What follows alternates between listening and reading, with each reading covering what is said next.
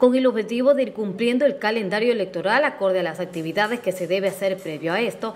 El próximo 14 de abril inicia el cambio de domicilio en la que los ciudadanos podrán con esto sufragar cerca a su lugar de residencia.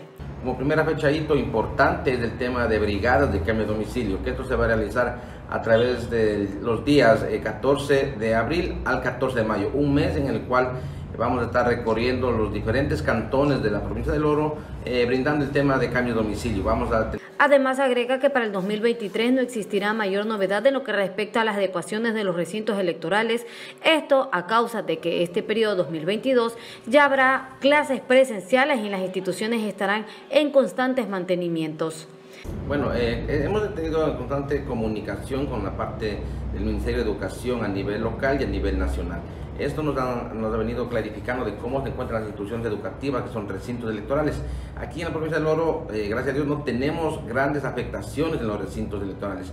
Están en un, en un 80% bien todas las, las, las, unidades educativas y tenemos un 20% que necesitan ah, algunos arreglos. Mencionó que existen tres tipos de multa para quienes no cumplan con el proceso electoral acorde a lo que haya sido designado o a su vez no se presente a ejercer su derecho al sufragio.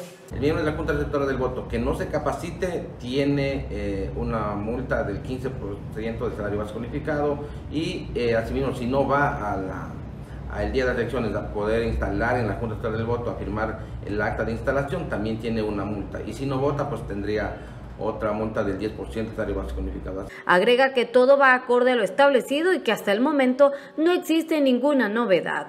Marta Contento, Fusión Informativa.